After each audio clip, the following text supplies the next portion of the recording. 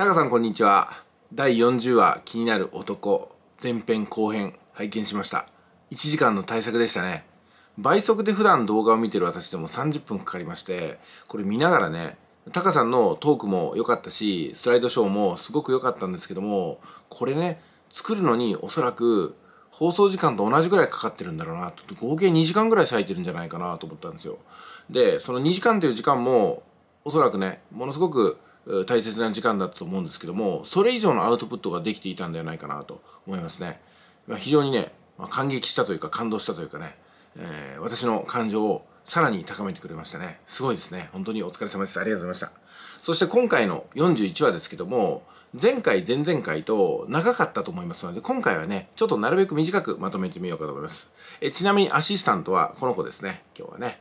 私の最近気に入ってる、えー、フィギュアなんですけども見えます？ちょっとピントがねこうやって。こうですね。こう長靴履いてるんですよ。で手にはてるてる坊主を持ってるんですけどもちょっとね落ちやすいんでちょっとよそへどけております。まあこの動画には全く関係がございませんけども最近のフィギュアとよくできてますね。はい。じゃあこれちょっと伏線になりますのでここ置いときます。はい。では今日はね、10個ぐらいのキーワードを元にいろいろとお話していこうかと思いますんでよろしくお願いします。えー、速稼塾の久保です。私はね、最初の3年間で、えー、1億円を稼いでですね、40歳からインターネット、パソコンを始めた、パソコンのズブの素人だったんですけども、素人のままじゃ稼げないと思ったんで、すぐにパソコンを一生懸命やるようになりましたね。当時、麻雀店の経営がありましたので、実店舗が。店舗の方に15時間、私は身柄を拘束されていたんですよ。で、残りの7、8時間でなんとかね、パソコンを勉強しながら、そしてインプットアウトプットを繰り返していきました。具体的には、インターネットの教材を買います。こっちのパソコンの画面で勉強します。その瞬間、こっちでアウトプットですよね。で、学んだことをすぐにツイートして、ブログに書いたり、えー、YouTube にまとめたりとかってしてました。だからこっちで30分再生した動画があったら止めて、こっちで30分、1時間ぐらい、その感想とかを話す。もしくは、こちらで話されている講師の方と、同じような身振り手振りで再現した動画をこっちで作るみたいなことをして、どんどんどんどんこうね、情報の横流しをしていきました。それが私のインターネットビジネス第一歩だったんですよ。ね、相当な作業量でしたけども、私はいつも心がけてるのは、初速が最大速であれってことなんですよ。なぜなら、モチベーションが一番高い状態って、始めたその日なんですよね。2日目、3日目は、1日目、一番最初の日にエネルギーをかけたからこそ、それもフィードバックがあって、2日目とか3日目はボリュームアップすると思うんですよ。だから1日目に、あ、オリエンテーションだ、ぼーっと見てたら、ぼーっと見るのが2日目に続いちゃうんではなかろうかと思ってるんですよね。だから初速が最大速という意識をいつも持っております。大体そうですよね。新しいおもちゃを買ってもね、新しいなんかね、えー、人に出会っても、だんだんピークって衰えていくんですよ。男女の出会いのピークって出会いの瞬間っていう言葉がありますけども、まさにそういう出会いをするとそうなると思うんですよ。でもね、2日目3日目と相手を掘り下げる気持ち、新しい相手や新しい自分に気づく気持ちがあれば、どんどんピークっていうのは後ろの方にずらすことができて、それこそ別れられない存在になるんですよね。はい、これも伏線になっておりますんで、ちょっとここの隅に置いといてください。1個目のキーワードいきます。寝れば回復するってことです。ね。最初から切り札使おうぜみたいな話をね、前回前々回とさせてもらったと思います。切り札があるんだったら最初から使って一瞬で勝てばいいじゃん。ってことなんですよ。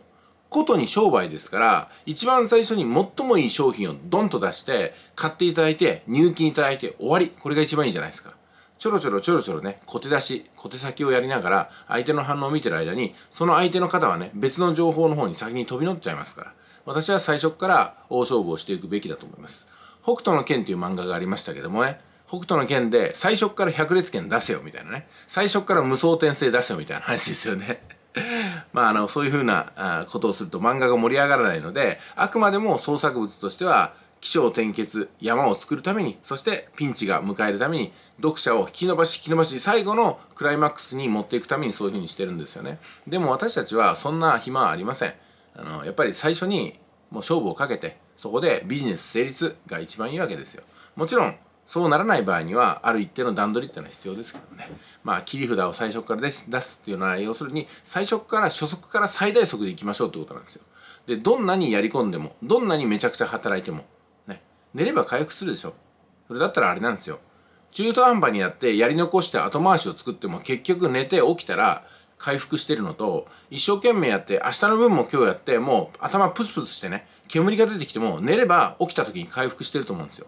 で起きた時にやり残しがある状態で始めるのとやり残しがないもしくは前倒しで終わってる作業がある状態で今日を迎えるのとどっちが起きた時爽やかですかってことを考えると過去ってのはねもう過去の疲れってのを忘れてるわけですよ。で今日どんなに頑張って疲れても明日になったら過去になってもう忘れてるわけですからだったらね1日でも2日でも3日でも5日でも前倒しした方がいいと思いますよ。それこそ1億円2億円稼ぐのは大変だと思いますけどもその大変な1億2億の資産も過去に稼いでしまったっていうところで過去に押し込めてしまったら今日からはハッピーな日々が続くだけでしょ。そういうふうに私は考えてますけどね、はい、でもお金の問題が後回しになっちゃうと40代になっても50代になっても将来が不安で現在が不安定でしょうがないわけですよ、まあ、そういうふうにならないためにも寝れば回復するんで今日限界までやってくださいということなんですよ。で普段例えばね10時に寝てる人10時半に床に着く時間が30分ずれてもそんなに変わんないと思いますよ。だったらそろそろ寝ようかなと思ったところから30分突っ込んでみてください。そうすると一つぐらいのセンテンスは自分の体に染み込んだ状態でいい夢を見れると思いますんでね。はい。では2つ目です。2つ目のキーワードはこれは私の解説抜きにお話ししようかと思いますけどもよくね見えないものを見る力っていうのがね語られることがあります。ね。実際に人の姿形は見えるけども気持ちまでは見えないじゃないですか。だから見えないところに意識を向けようっていうのはよく言われることなんですけどもちょっと待てと言いたいと私はね。あなたは見てるものがちゃんと見えてますかってことですよ。見えないものに意識を向ける前に見えてるものちゃんと見えてます？でこれだけ素晴らしい世の中に暮らしてるのに親ガチャだとかねしまいには日本に生まれたら終わりだ。日本ガチャだ国ガチャだって言ってる人いますけども待てと。ちゃんと見えてますかと。私たちはなんでね24時間いつでも水道の前に立ち蛇口をひねれば水が出るんですか？水道事業に全く携わったことのない方でもどんな差別区別もなく蛇口をひねったら当たり前に水が出て水が出なかったら大騒ぎでしょ？どうなってんだこれはって水道会社に連絡するでしょ？パチッとスイッチを押すと電気がつくでしょ？いつでも。どんな小さいお子さんでもパチッと電気をつければつくわけですよ。これって奇跡じゃないですか。電気が行き渡ってない。そんな世界の方がまだこの地上には多いわけですよ。世界的に見るといつでも電気がついてガスが引けて深夜でも水が出る。ハッピーですよ。しかもね気がついたらスマホってものがあってこれで世界とつながって自分の放送が世界中に発信できるわけですよ。私ねスマホを見るために奇跡だと思いますよ。よくこんなもの作ってくれたと。自分が必要とする前に必要なものが全てあるじゃないか。思いますね。見えてるものがちゃんと見えてますか？今日何気なく起きて出会ったお父さんお母さん子供たち。これって奇跡ですよ。ね。だって理由もなく起きてこなくなる子っているんですよ。心筋梗塞などありますよね。そして行ってくるねって言って二度と帰ってこないそんな存在もあるわけですよ。最近でも千葉の方で行方不明になった小学校1年生の女の子がいました。ね。その他北海道旭川では学校に行ったがゆえにひどい目にあって公園で投資しているというね。そんな悲しい事件もありました。いずれも解決してません。いまだに旭川のいじめ事件全く関係者が事の重大さを認めようとせずに責任回避に走ってます。当時の担任教頭校長ひどいもんです。そして放送メディアも完全に沈黙してました。そこを掘り起こしたのが YouTuber ですよ。YouTuber がその事件を知って北海道旭川に行って独自にさまざまなリサーチをしてインタビューして事件を表面化させたわけですよ。全国でその話を YouTube の YouTuber がシェアすることによってやっと問題になって警察関係者教育機関が動き始めてそれでも1年経った今でも第三者委員会の曖昧な答えが遺族や私たちを失望させてるわけですよね。しまいにはこの問題に立ち向かうべき旭川市の市長になった今津市長が自分の第三者機関を作ってこの問題を完全解決するというふうなところまで来ました。すごいですね。YouTuber っていうのはすでに世界を動かすスタンダードになろうとしてるわけなんですよ。圧倒的な操作能力を持ってる。それは YouTuber なんですよ。もちろん YouTuber にもいろんな種類の方がいます。デマを拡散して再生数を稼ぐ方もいます。でも言えるのはこのことなんですよ。YouTube 毎日見てる方。見てるものがちゃんと見えてますか？見るべきものはちゃんと見てますか？っていうことですよね。時間の無駄コミュニティにあなたもおそらく入ってると思います。一刻も早く抜け出していきましょう。さあ見ているものが見えてますか？っていうことの解説この辺にさせていただきます。次のキーワードに移ります。決めることの大切さです。決めることね。決めることってのは誰かに聞いて参考意見をもらうこともあると思いますけども結局はどんな参考意見を聞いてもね自分で決めるってことなんですよ。あの人がこう言ったからこうしました。つまりは自分の判断を他人に投げますか？他人は自分以上に自分の人生に責任も持ってくれませんし興味を持ってませんよ。自分の人生に一番興味を持ってるのは自分自身でしょ。ということはダメージや失敗を受け入れて決めないといけない。それこそ何が正解かはわからないけども時間が経てば経つほどもっと悩むんですよ。だったらまずはこれから決めてダメだったら次のプラン。ダメだったら次のプラン。早く始めればそれだけ早く結果がわかるから早く修正できるわけですよ。それがね決断を先延ばしにしたところで結局はそこでうまくいかなかったら別の決断を選択せざるを得ないんですよ。こういう言葉があります。下手の考え休むに似たりということですよね。だって考えれば考えるほど悩めば悩むほど正解に近づくんだったら10時間でも10日でも10年でもかければいいんですよ。でも結局今わからないことって10年後もわからないんですよ。なぜか。行動して結果を見てないからなんですよ。だったら失敗を前提でまず手を出してみてその結果を見てなるほどこの方法はダメだったんだ次行こうみたいな感じで第2プラン第3プランというふうな自分の迷ってる選択肢を全部試した方がいいってことになりますよね。これはエジソンも言ってました。1万回の失敗そうではないと。1万通りのうまくいかない方法に気づいたんだ。これは発見だということですよ。その精神が大事なんじゃないですか。だから自然と手数は多くなりますよね。YouTube だってねたくさん動画上げていってどの動画が反応がいいかそれはたくさん動画上げたからこそわかるんですよ。最初から1本の動画で1000再生1万再生を目指すんだったらこれはねそんな回答どこにもないんですよ。ね。もともとの芸能人でアクセスを集めやすい人が YouTube をやりました。ならわかります。でも私たちは普通の人ですよ。普通の人が普通じゃない人になろうとしてる。その初日で普通な人なのは変わんないわけですよ。徐々に普通じゃない人になっていく。その階段の中で再生数が低かったりチャンネル登録が伸びなかったりするっていうのは当たり前の工程なんですよ。それを受け入れて当たり前じゃない未来に向かっていくためにはまずは当たり前の日々が続くことを受け入れなければなりませんし次に当たり前に違和感を覚えてそこから抜け出そうとする力が必要なんですよね。じゃあ次のキーワードです。良いコンサルタントと悪いコンサルタント。この話をさせてもらいます。コンサルタントさんって実はね顔のメイクのコンサルトさんっていうのもいるんですよ。で以前私がねこの顔のコンサルトさんとちょっとお話をした例がありますんでよく聞いてもらいたいんですよ。そのコンサルトさんはいろんな方をね顔のコンサルタントをするときにお客様のどんな人間関係を持ってるかを最も重視するそうなんですよ。つまりは顔のコンサルタントって要するにメイクをする化粧をすることを指導するわけなんですけども例えばお客様で A さんっていうね A 子さんっていう女性が来ました。じゃあ A 子さんは周りの人どんな人に囲まれてるんですかどういう人ですかってことを相当聞くわけなんですよ。でそれに何日も何日も費やしてやっとメイクを決めるんですよ。なぜか。ね。悪いコンサルトさんっていうかねちょっと質の悪いコンサルトさんっていうのは自分のコンサルタントとしての成功例を詰め込んだものでそのお客さん A 子さんを判断してこれがいいよって言うんですよ。でもねそのコンサルタントの先生がいろんな勉強してきて世界中の例を見てきたことは確かでしょ。うでも1万人10万人を見ていようが A 子さんの周りの人間関係は知らないわけなんですよ。で A 子さんの人間関係と行動範囲っていうのはごく限られてるわけですよね。親兄弟友人学校の友達そして職場の皆さん。せいぜい100人弱なんですよ。その100人弱の生活の中で A 子さんのメイクが100人の中で受ければいいわけでしょ。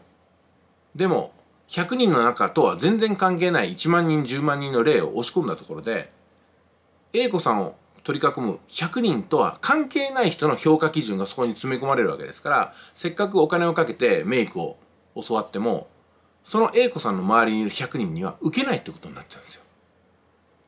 だから良いコンサルトさんは A 子さんはどんな人に囲まれてるのかなとどんな年代かなどういう考えの人なのかで徹底的に聞きまくります。そうすると A 子さんが生きていくに必要な周りの100人の人の好みや判断が分かってくるんでそれに適したメイクをします。そうすると A 子さんがその良いコンサルトさんのメイクを受け入れてできるようになった時に最近表情変わったね。可愛くなってない？若返ったんじゃないの？俺なんか俺の好みだわとかね。そういう風な人に囲まれて暮らすことになるんですよ。だからああコンサルトさんにお願いしてよかったわってなるんですよね。でも先ほどの悪いコンサルトさんの例を取るとおかしいな評判のコンサルトさんにメイクしてもらったのにこれ良くない？ね、なんでみんな見る目おかしいよっていう風になってどんどんどんどんねそのもう一人の A 子さんの周りの関係とはおかしくなっていくんですよ。だから結果悪いコンサルトさんってことになっちゃいます。つまり人間が生きる上で必要な人にどう好かれるかどう嫌われないかってことはこのぐらい大事なんですよ。世の中にある成功例をたくさん集めたところであなたの人生の成功例とは被らないことが多い。だから成功例に依存しないことですね。ただし失敗例は共通することが多いので失敗例はよく学んだ方がいいと思います。だからこそ失敗が資産になるというお話を前回させてもらいました。実は失敗の方がね成功例を集めるよりもうまくいくんですよ。こういうふうに考えていただきたいと思います。じゃあ次ですね。マイナスがなぜ資産になるんでしょうか。もうだいぶお分かりいただけたと思いますのでここはちょっと課題として残しておきましょう。マイナスが何で資産になるのか改めてちょっとねこれをご覧になった方は考えていただきたいと思います。マイナスね。なんで資産なんでしょうね、まあでもね一言言うとすると例えば会社が倒産しました。瀕死の病態状態から復活しました。もう大借金を抱えてどうにもならないところから今に至ります。マイナスの経験で皆さんあると思いますけども結局今この動画見てるってことはそのマイナスを生き延びてきたわけでしょ？すごいもんですよそれは。だってね戦争に行ってみんな死んじゃったけども自分だけは生還しましたっていうくらいすごい大変なことですよそれは。そのあなたの抱えたマイナス状態でもう復活できなかった方もいるわけでしょ？だからマイナスをくぐり抜けてきたってことはもうね勝利の条件が揃ってるんですよ。だからマイナスにもっと目を向けてください。マイナスに目を向けてあかつてはあそこにいたのに今ここにいるんだ。這い上がってこれたじゃないですか。そのエネルギーでもって今度はここから見たこともないプラスの世界に行くわけですよ。マイナス100から0に来たんだったら0から100に行く力もまたあるわけなんですよ。だからマイナスにね是非自信を持ってください。マイナスの状態ではなかなか人は生き延びてこれません。でも生き延びてきたわけでしょ。大したもんですよ。その力があればこれからあなたは成功します。マイナスの状態からプラスになったそのこの過程をね是非思い出して使っていただきたいと思います。マイナスってのは何もね100じゃなくてもいいんですよ。マイナス1から0に来た。その1でもちゃんと積み上げていけば1になり3になり5になり10になるわけですよ。これからのマイナス資産の活用に期待しております。じゃあ次はサラリーマン。ねサラリーマンが稼げない。すごい稼げないんですよ。サラリーマンさんって結局小学校中学校高校もしくはその先の大学や専門学校を通じて就職という形をとりますよね。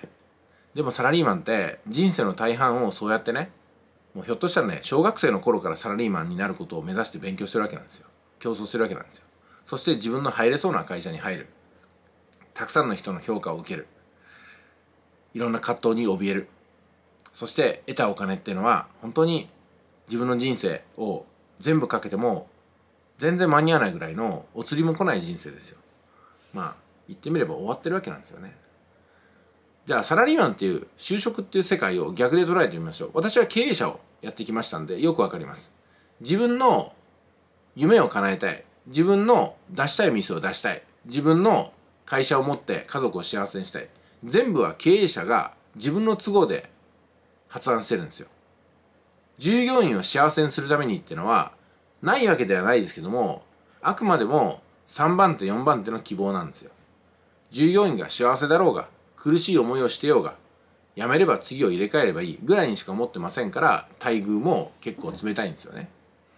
だってこれね経営者の勝手なもう思い込みであり半分事実ですけども給料を毎月50万上げたらね簡単に資産構築して辞めていきますよ。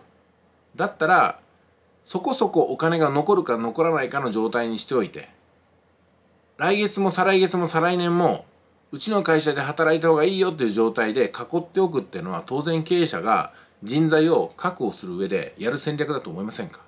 逆の立場でもそうですよ。例えばね自分に部下や後輩がいて自分と同じかそれ以上の同期がいて自分の部下や後輩がそっちに流れちゃ嫌でしょ。だから自分の魅力でもって囲うわけですよ。焼肉をおごって恩を作るわけですよ。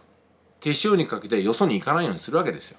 そして時にはそういったライバルをけなすでしょ。あいつのとこ行ってもね苦労するだけだからねみたいな。お前俺のとこ行ってよかったなみたいになるでしょ。だからそれの大きい版が経営者とサラリーマンの関係ですよ。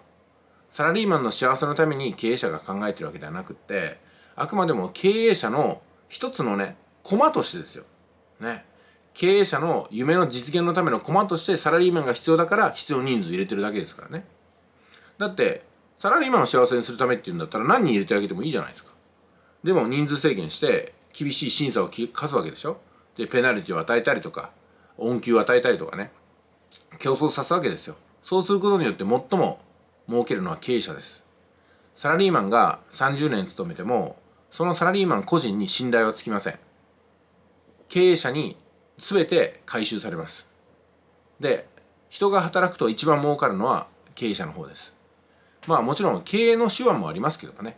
逆に人を雇ったがゆえに経営者が自分の資産をどんどん投げ打って破産するみたいな私みたいな例もありますけどね。そういった腕の利かない経営者はもっともっと一人でやった方がいいかなってところに気づいて誰も雇わなくなるんですよね。で同時に自分に能力があると思うサラリーマンさんはその能力を経営者に献上するんではなくて自分自身が経営者になって自分で身も花も取っていけばいいと思います。サラリーマンはなんせね稼げないです。稼げない仕組みになってるんですよ。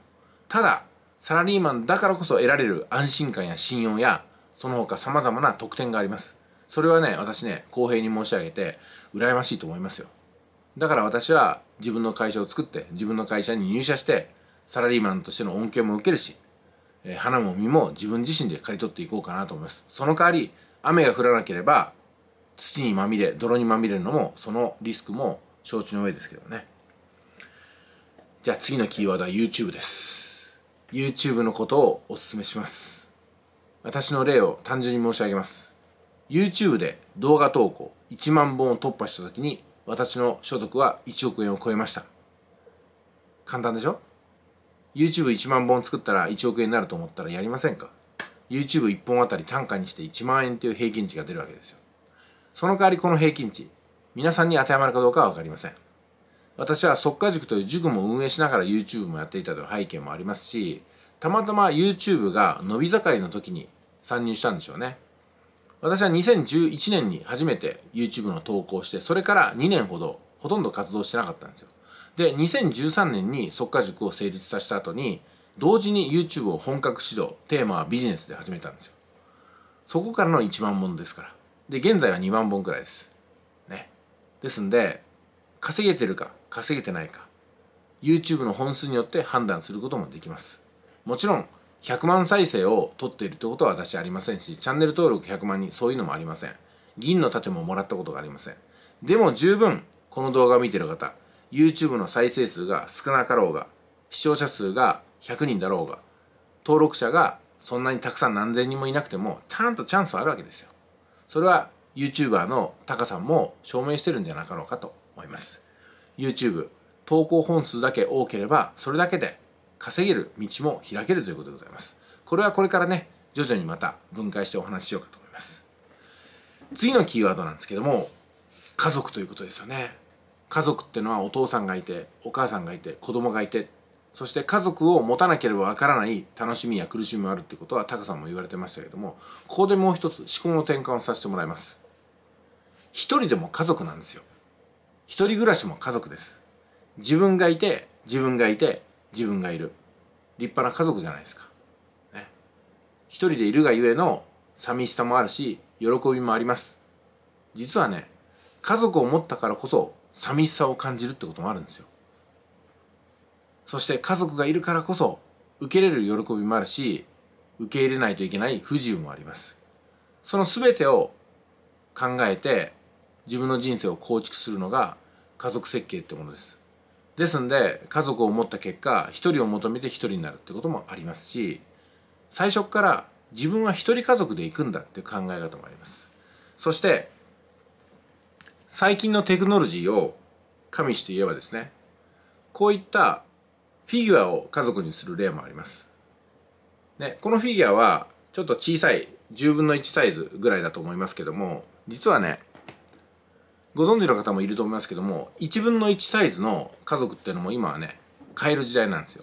まあいわゆるラブドールっていう扱いになるんですけども中学生とか高校生とかね場合によっては小学生ぐらいのその人体模型を買ってきてですね。ですごくシリコンでできてリアルにできてるわけなんですよ。もちろん服を着替えさせたりお風呂に入れたりとか一緒に旅行に行くツアーも最近はあります。そういった形で一人家族なんだけど一人じゃないっていう形を取ることもできますしちゃんと家族の待っている一人暮らしの部屋に帰るっていう習慣を作ることもできるんですよ。でしかもこれねトーク技術があったりとかコミュニケーションスキルがついたりとかする、まあ、そういうふうなあ AI 導入のドールちゃんもいらっしゃってですねしかも1分の1じゃなくて先ほどのちっちゃいサイズのねこういうふうな妖精みたいな女の子に話しかけながら一緒にご飯を食べながら何だったら YouTube に一緒に出演するっていうチャンネルもあるわけなんですよ。まあ、こういうふうなね家族の形も以前とは違って全然違うものになってきてるってことなんですよ。でそうなるとねちょっとこれはあの副次的なお話になりますけどもさっきみたいな1分の1の家族要するに、まあ、ラブドールっていうお人形さんの家族がいたらその家族のためにね自分では一生買うことがなかっただろう独身の自分が買うことがなかっただろう女性ものの靴とか服とか帽子とかを買うようになるんですよ。そうするとそこにもちゃんとね消費需要っていうのが起きるわけですよ。またラブドールちゃんと一緒にファンの集いっていうのがあって同じ趣味を持った人がこの前もね電車を借り切ってその電車の中で一緒に自分のラブドールちゃんを持ってきてえっ、とその所有さんオーナーさんラブドールオーナーさんの男性がいっぱい集まってですねえ一日楽しむみたいなツアーがあってこれがまたねむちゃくちゃいいらしいですね。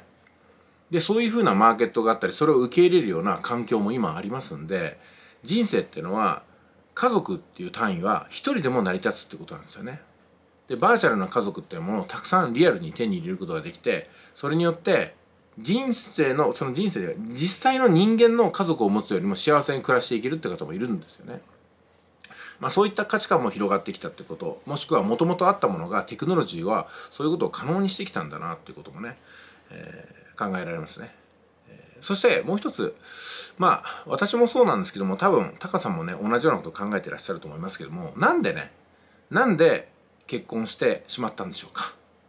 私はね一重にねこれタカさんの話を聞いてみないと分かんないですよ。私はね他の男に取られたくないと思ったから結婚したところが大きいです。独占欲ですね完全なる、うん、俺のものだって感じですよね。まさに俺の夢って感じですけども。私はねああこのまんまこの子といつか別れた時にもしかしたらこの人一人ぼっちになっちゃうかもしれないしそれがねどっかのわけのわかんない男と一緒になるのかなと思ったら、俺がちょっとね、俺のものにしようかなっていう感じですよね。完全に強引な独占欲が、その私の希望をね、叶えて、その責任を取るっていう意味もあって、一緒に暮らすことに幸せを見出そうという気持ちになったところがあります。まあ、これが今日のオチになりますけども、あの、要するにね、理屈に合わないんですよ、最後は。人間生きてきたらね、感情というものがありますから。よく感情論でものを言うなっていう風なね言い方をする人がいますけどもいやあの人間はね感情があるから人間なんでしょとあなたは喜怒哀楽ないんですかとビジネスっていうのはそもそも感情論ですよとお客様が喜ぶこと悲しみを癒すこと感情をぐるっと回転させて幸せに導くためにビジネスをやってるわけじゃないですか。ね、だからビジネスでうまくいかないとお客様はダメージを受けて落ち込むわけですよ。投資で詐欺に遭うとがっくりするわけですよ。人間関係壊れるわけですよ。感情がマイナスにくるんですよ。